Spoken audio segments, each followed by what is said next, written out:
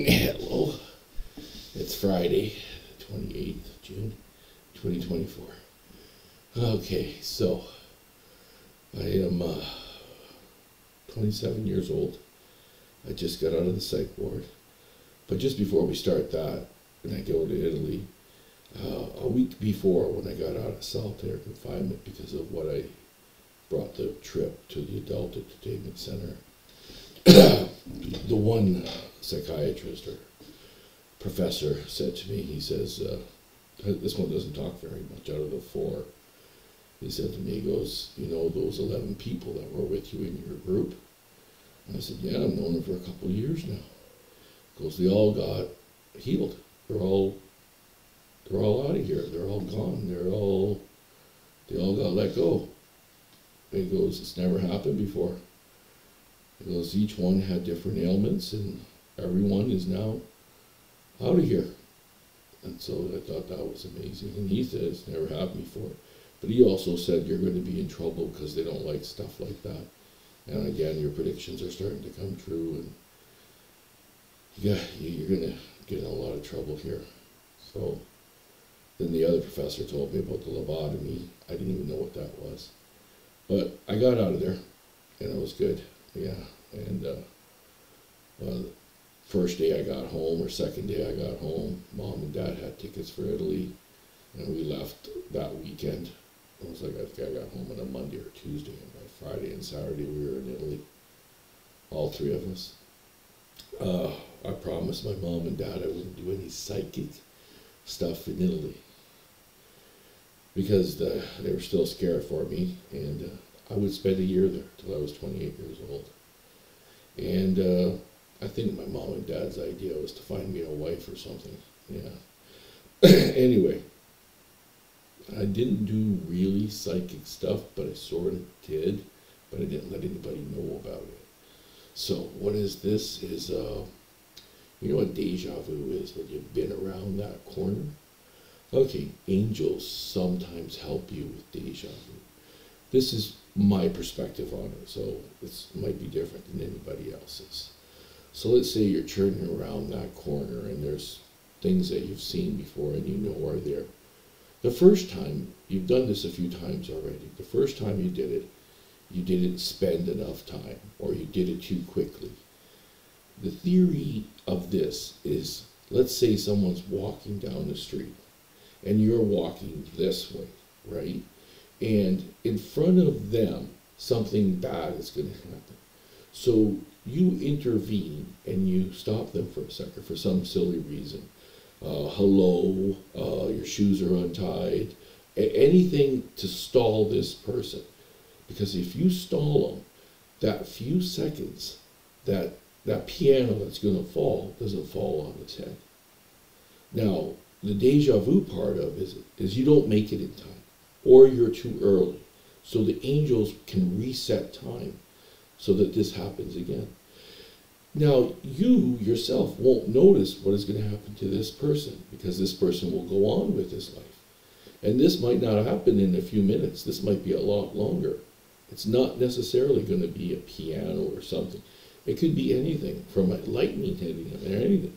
You just had to either stop him or speed him up.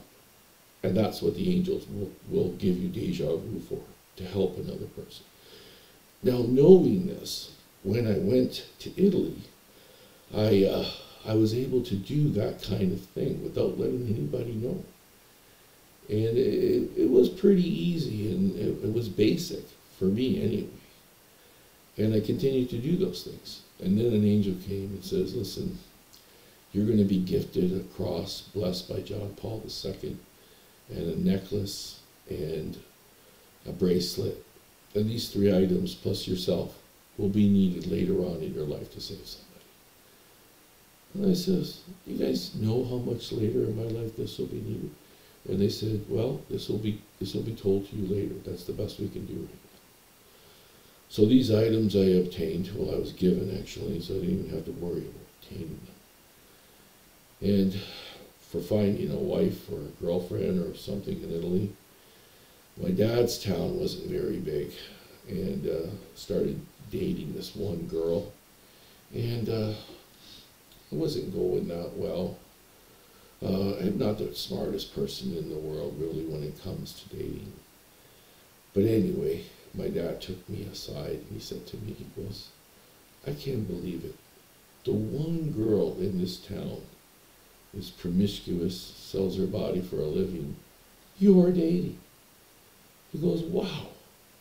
And I go, wow.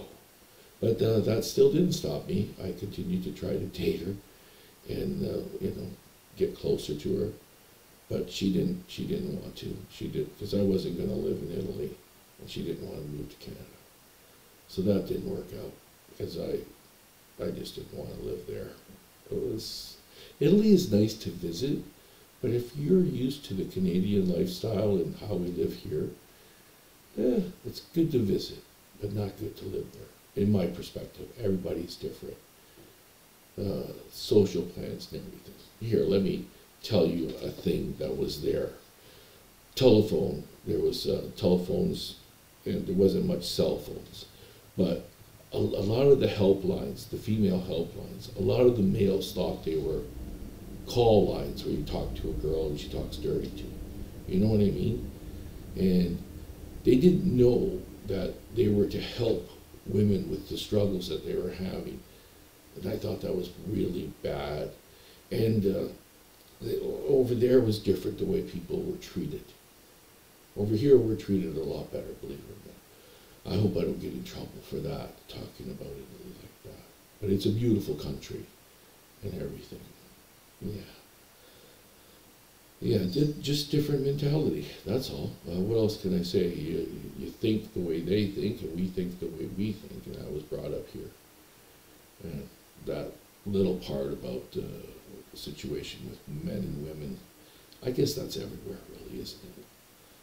But anyway, I just wanted to tell my story about when I went to Italy and how I had to use my psychic ability in different forms without ever without ever letting anybody know that I was doing it. And I also was able to change people's minds for a second so that the things that they were going to do that were not so good would be less bad, let's say. Yeah. Okay, uh, that's about it. Yeah. I hope the Italy thing doesn't upset anybody. But Italy is beautiful. Thank you. Bye.